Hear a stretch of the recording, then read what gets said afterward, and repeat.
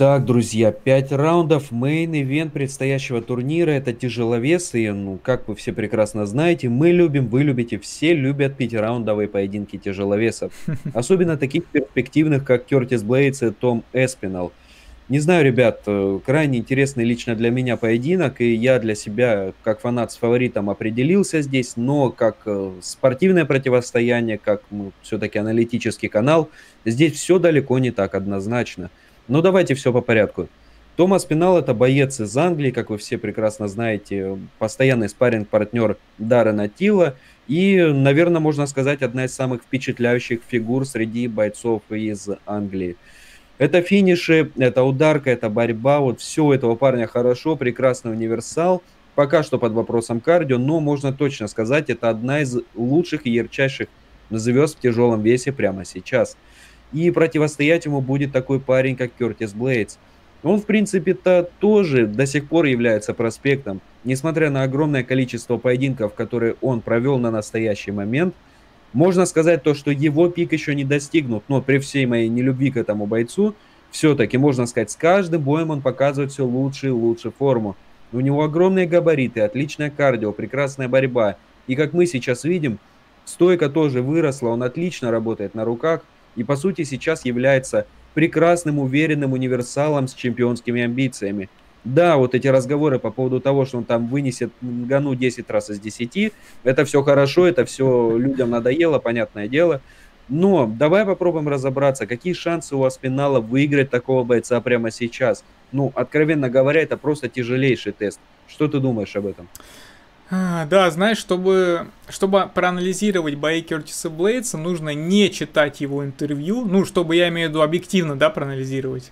Нужно не читать его интервью, нужно не заходить к нему в Инстаграм и не читать посты, иначе вы просто такую э, дозу кринжа словите, что объективно уже не получится этого бойца, э, ну, как-то оценить. А, если все-таки отбросить эти моменты, постараться, попытаться, да, то действительно Кертис Блейдс это, ну, это очень неудобный тяжеловес. И, откровенно говоря, борцов в тяжелом весе, ну, так мягко говоря, да, практически нет. И поэтому Кертис Блейдс выглядит э, для любого практически бойца кошмаром, да, если, если только, только, конечно, он сам не будет творить какую-то дичь, да, а, и мы знаем, что, ну вот, стойка у него более-менее вменяемая, я бы даже сказал, что хорошая.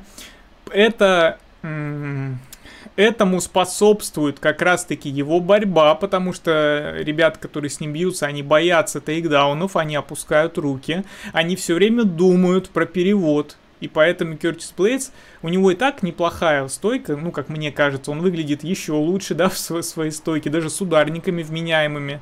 И к тому же, как и у любого, наверное, тяжа, у него панч есть довольно-таки тяжелый. А, вот, ну, единственное, заиграться он в стойке тоже может. А, сказать, что он является пробитым, я не знаю, не могу сказать, что прям вот пробит, но, ну, можно, можно его нокаутировать. Но, опять же, ну, с другой стороны, ну, тяжеловес, ну, любого можно нокаутировать. Бывают очень редкие случаи, да, с крепкими подбородками ребята, но действительно редкие случаи в тяжах. А, вот такие моменты. А, поэтому мы сейчас видим, да, что Кертис Блейдс это хорошая борьба, это хорошая стойка, это вменяемое кардио, вполне себе. Да, он устанет за 5 раундов, да, если бой будет длительный, если бой затянется, он устанет, но он способен работать все 5 раундов, да, он знает, что это такое, он уже там был. И мы можем сказать, что он отработает, да, если что, если это придется. Что касается Тома Спинала, ну, очень много, давай откровенно, да, очень много глария сейчас перетекло в лагерь этого борца, а, бойца, да, борца. А почему? Ну, потому что вот он пришел в UFC, он поражений не имеет, всех уничтожает в первом раунде, ну вот Андрей Орловский до второго только дожил.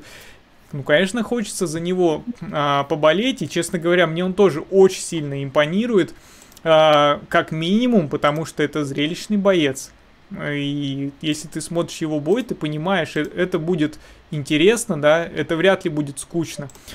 А, я уже вы, выказывал и высказывал этот момент, что мы немножко не знаем про его кардио практически ничего, потому что э, это боец, у которого все бои в карьере закончились досрочно, да. Uh, у него единственное, да, был там 3 по 3 в любителях в 2013 году, но это даже можно не учитывать. И у него были поражения, ну, одно дисквалом, я это тоже не считаю, да, вот было у него поражение от Стюарда Остина, это прям, ну, посредственный боец, скажем так, и дичайше там спина устал, прям дичайше. Ладно, вы мне скажете, что, ну, про, как бы вода течет, да, и уже это был 15-й год, но вот с тем же Андреем Орловским мне показалось, что к концу первого прям заметно, вот прям заметно, а спина устал. Благо он подвосстановился, благо он сразу же сделал перевод, да, сразу как вышел на второй раунд и сумел выиграть досрочно. И все, и мы уже опять не видели Аспинала. И, соответственно, ну, это вопросик. Это вопросик. Мы не знаем, как он будет выглядеть во втором раунде, в третьем, а в четвертом, а в пятом. Я практически уверен, что он очень сильно устанет. А, но он все, конечно же, безусловно, да, он может просто закончить бой быстро, и, и, и мы опять будем сидеть гадать, а что у него там с кардио, нормально, ненормально, такие, ну, наверное, нормально, да. Вот, я, я, кстати, еще знаешь, что хотел сказать, я э, прям хочу, да, публично поблагодарить подписчика, который обратил внимание перед, э, э, в прошлом подкасте, когда мы Аспинал разбирали, что у Аспинала на самом деле база джиу-джитсу, спасибо большое, да. Я всегда к таким вот прям, знаешь, конструктивной критике, я прям отношусь супер позитивно, спасибо большое. Я почитал э, его интервью, и реально интересно, он оказывается с детства... Э, то ли с 8 лет, что-то такое, знаешь, начал заниматься джиу-джитсу, потому что у него отец тренер по джиу-джитсу. И супер интересный момент, насколько я понял, вот у него сейчас черный пояс, ему отец этот черный пояс и выдал. Тут, конечно, у меня вопросы некоторые, знаешь, к легитимности этого пояса. Типа, а можно ли его сравнить с поясом там какого-нибудь Вердума, например, тоже черным, да? Это, это вообще сопоставимые вещи. Слушай, знаешь, что меня больше всего интересует по поводу его этого пояса? Угу. Больше всего меня интересует, как он со спины работает, потому что если ему тейкдаун дефенса не хватит, а ну все-таки Кертис Блейдс это боец, который обладает не только борьбой, но еще и габаритами. Представьте, скинуть себя вот этого парня, который весит 120 килограмм, и при этом еще владеет техникой борьбы. Ну, я, если честно, не представляю возможным, чтобы это вот просто так легко было. Да, защищаться от его борьбы можно, но если он сел на тебя сверху, это реально будет очень большая проблема. Так что, да. если он из этой позиции сможет выбраться, то мое почтение просто. Ну да, ну в таком случае мы скажем, что у него замечательный легитимный черный пояс, да, э, просто все хорошо с джиу-джитсу. Но в любом случае, какие-то навыки есть, да, он там в каких-то соревнованиях участвовал. Ну, кстати, не по черным поясам, правда. Но, наверное, для тяжеловеса этого, да, плюс-минус достаточно. Вот, и в любом случае, даже учитывая, что у него вот эта такая база есть, все равно это ударник в первую очередь. В первую очередь, да, он где-то там может сделать перевод, но в этом бою вряд ли это будет э, играть какую-то роль. Здесь будет играть роль действительно насколько он будет точен, насколько он будет хорошо двигаться, и насколько он сумеет защищаться от борьбы, если Кертис Блейз все-таки где-то его поймает, где-то прижмет, да, попытается сделать перевод. И вот что, как у него с этим аспектом. А, здесь мы видим следующий коэффициент. Томас Пинал идет за 1,77, вот сейчас на данный момент, да, 1,77. А, 2,14 Кертис Блейдс. Что я могу сказать по этому поводу? Ну, наверное, то, что... Что, наверное, на правах просто хозяина, да, на правах домашнего бойца, наверное, Томас Пинал идет фаворитом, потому что я не понимаю, почему он идет фаворитом. На правах хозяина, тут шутечка такая у тебя, да, на грани просто. Я понял, я понял. Вот, ну, кстати, после боя, да, посмотрим, сумеет ли освободиться э, Блейдс. Я э, просто, да, к чему это все веду? Ну, типа, мы видели Блейдса на протяжении пяти раундов. Мы точно знаем, что у него и стойка нормальная, и борьба нормальная, да? То есть э, я вижу, что на бумаге, по идее, чуть больше у Блейдса шансов, по идее. У Тома Аспинала шанс нокаутировать соперника. Вот я это вижу примерно вот так. И в таком случае, почему боец, который, у которого шанс нокаутировать, я, я опять же, я сейчас просто свою картину, да, свое видение этого боя говорю. В таком случае, почему, да, второй боец идет фаворитом? Я не совсем это понимаю. Естественно, этот бой, наверное, делают для спинала. Естественно, это у него, да, в родной стране происходит. Ему дают бойца, которого уже нокаутировали, и не один, и не два раза, да.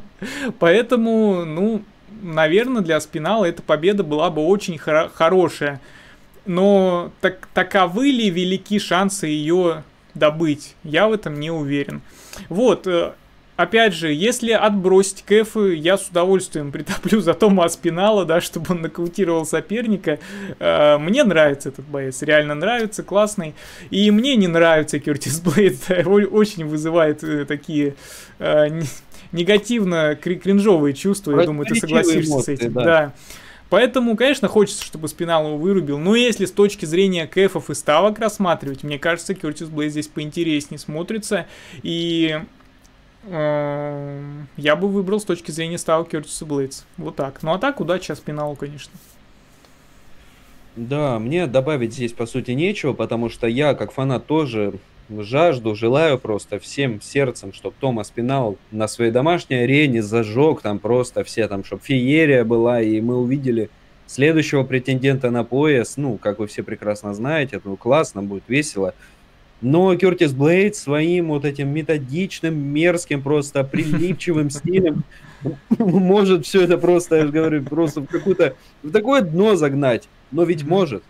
Может, да. И э, шансы на это гораздо выше, чем нам предлагают увидеть. Потому что если так посмотреть, ну, по сути, у него практически всегда это получалось. Mm-hmm. И Тома Эспинала нельзя назвать самым физически крепким бойцом, с которым Кертису удавалось драться. Так что, ребят, я всей душой здесь буду болеть за Тома Эспинала, но Кертис Блейдс, как э, боец, который имеет больше шансов, я с этим полностью согласен. И, да, все-таки, думаю, небольшое преимущество у него есть.